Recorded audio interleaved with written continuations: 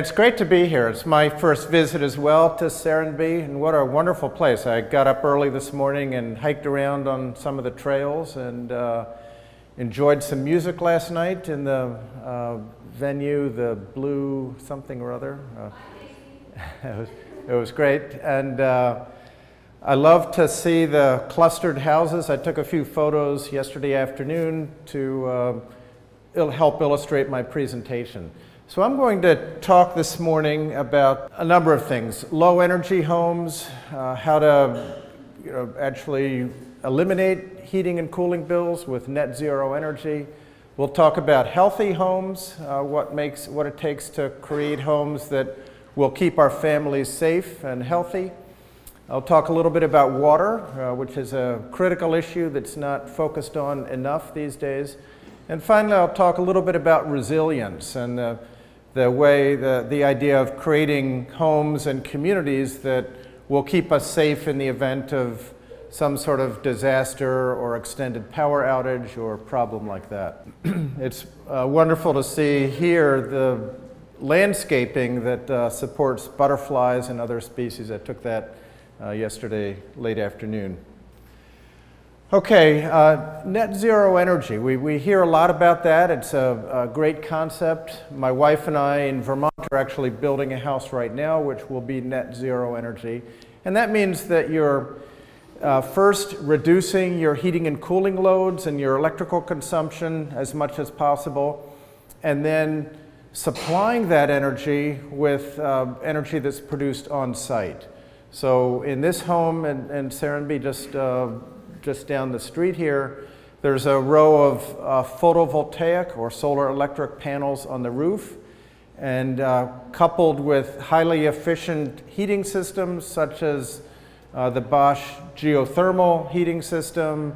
Um, we, we have a selection of products that I'll be talking about a little bit uh, from tankless water heaters to heat pump water heaters to uh, efficient appliances like induction cooktops.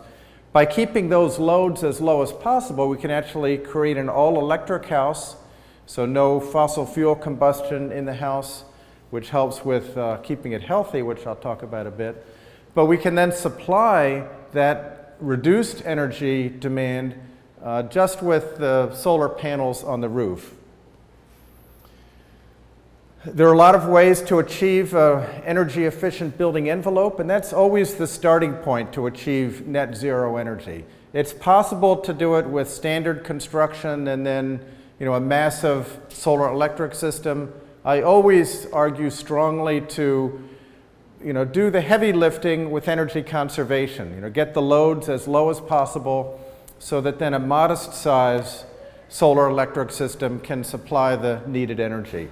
In the house we're building in Vermont, uh, I used, uh, used it as an opportunity to try out a lot of the innovative and some would say weird building products that I've been writing about for 25 years.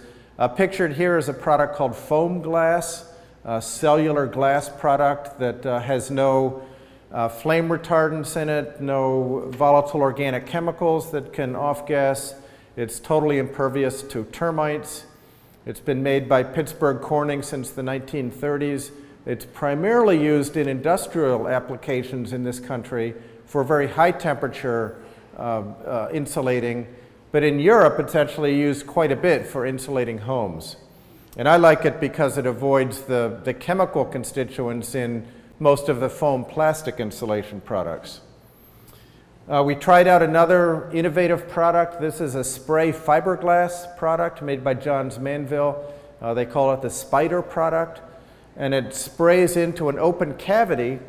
We used it because in our roof, we're aiming for very high energy performance, uh, R60 in the roof, and uh, using the, these 16 inch deep rafters, which are made from scissor joists. Uh, and this insulation an, an, acrylic binder is sprayed onto the fibers as it's injected so it can stick to surfaces and um, stay in place without netting or other uh, material to, um, to facilitate the installation. Then this will be covered up with uh, drywall and finished as a normal house. You know, here it is before drywall went up There are lots of ways to create an energy efficient building envelope. Uh, I showed you a, a frame construction in those last photos. This is structural insulated panels. Uh, there are lots of ways to do it. Uh, in this climate, we're focused more on reducing cooling loads in the summer than on reducing heating loads in the winter, though both are very important. And the same strategies apply to both. We want a good, well-insulated building envelope. Uh, we want good, high-performance windows, and we want tight construction with mechanical ventilation providing the fresh air. uh, we did some innovative air sealing systems. This is the uh, spray acrylic product that gets sprayed into cracks. Uh, it's made by Knauf Insulation, um, and it's an acrylic material that uh, helps to air tighten the house. As we were doing this, we were curious of what difference it would really make. So we actually used a, um, what's called a blower door, a device that pressurizes or depressurizes a house and allows you to actually measure the air tightness of the home.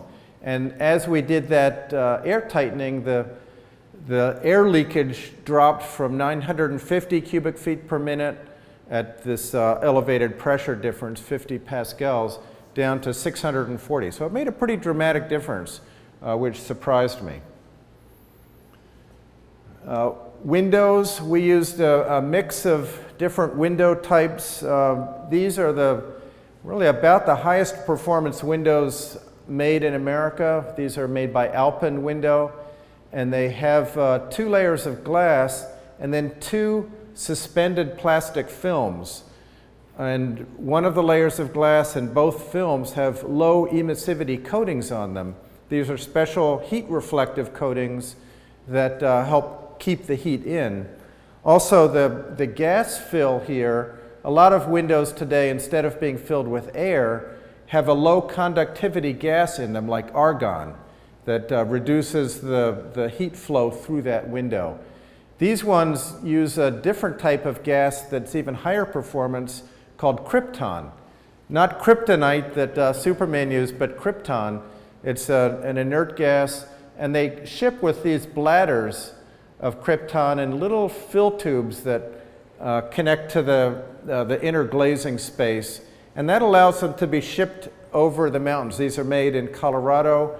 They get shipped to high elevation and then back down. Without this bladder that allows the, um, the pressure to equilibrate, the windows would be blown out or the, the gas would be lost. So it's a strategy that Alpen Windows developed to uh, ensure that the air and, and low conductivity gas don't mix. And then on site, the little very thin fill tube gets crimped, just squeezed tightly closed in a number of locations, and then tucked into the, the uh, weather stripping here in the window unit. But anyway, the, as a result of all this high-tech stuff, these windows insulate to R12 in the center of the glass, you know, which is extraordinary because these are windows that you see through. You know, they have the normal functionality of windows.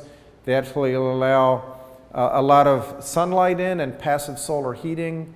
The uh, solar gain is still about 50%, which is you know, very good. So the, the coatings that we used with these windows uh, allow a lot of sunlight through and a very good visibility.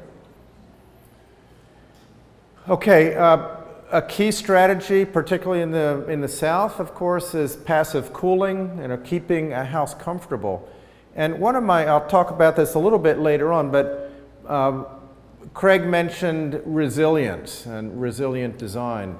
And one of my uh, interests in that came out of work I did following Hurricane Katrina in 2005 in advising on the reconstruction that was going to be happening in the Gulf Coast and trying to solve the problem where after the storm, you know, even people that weren't flooded, so could, you know, be in their homes, um, we found that the newer homes built since, say, the 1940s or 50s with central air conditioning were basically unlivable because these were homes that were designed to rely on, on electric air conditioning.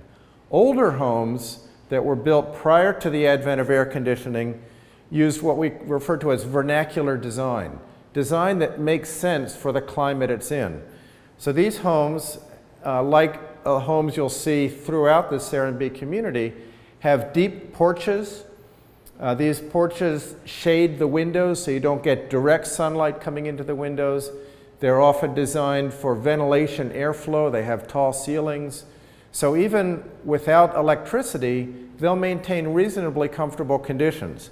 And this led to work on resilience and what I was often calling passive survivability. You know, homes that will maintain livable conditions in the event of loss of power or loss of heating fuel or other problems. Uh, so there are you know, many strategies for natural cooling.